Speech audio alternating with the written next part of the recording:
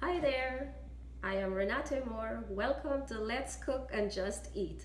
Today my show is a bit different because I don't have my production team. We are practicing self-distance.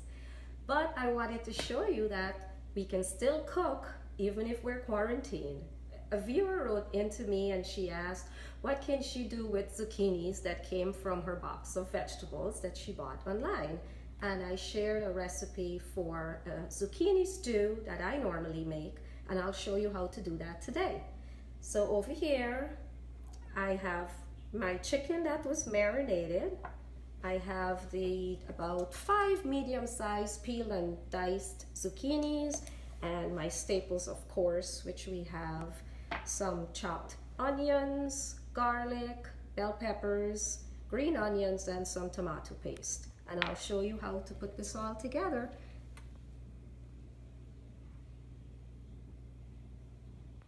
So heat the pan and add about a tablespoon of oil and about a teaspoon to two teaspoons tomato paste.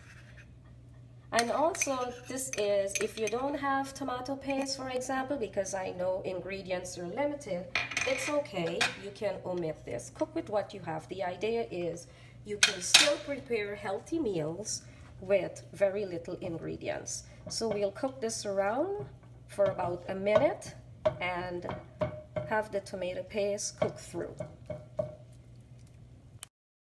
So this is cooked for about a minute. It's a nice color. Next we will add chopped garlic, onion, we will not add the green onions until the zucchini has cooked because you don't want to overcook that. Cooking these vegetables. This will soften for about one to two minutes. The next stage will be you will add your marinated meat. And I have chicken here.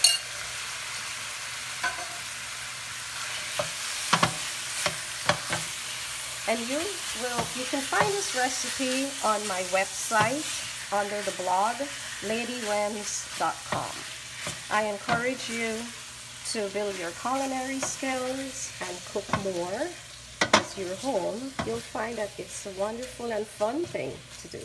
So we will let this meat cook for about five minutes. And then after that we will add the chopped zucchini.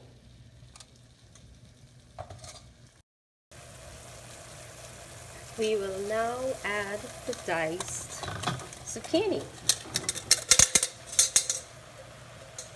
There, a little bit of fresh ground black pepper, or a lot if you like, and some salt, and of course you'll taste for flavor when this is finished.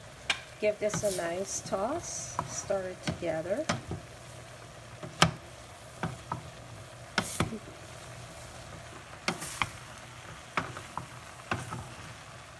And then you will let this cook until the zucchini has softened. You don't want it mushy, so you will check it ever so often. This will cook for about maybe 8 to 10 minutes. Zucchini cooks really fast. And like you say, oh, overboard. That's okay. We'll put the lid on and then we'll check back on that in about 10 minutes. Okay, so zucchini is finished. We will now just add the chopped green onions and stir it in. You will taste for your flavor. And if you need more pepper or salt, you can do that. And that's it, guys. In about 30 minutes, you have a delicious and healthy meal.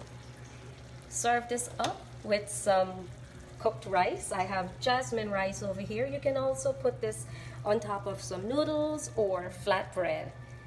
Stay safe and be healthy.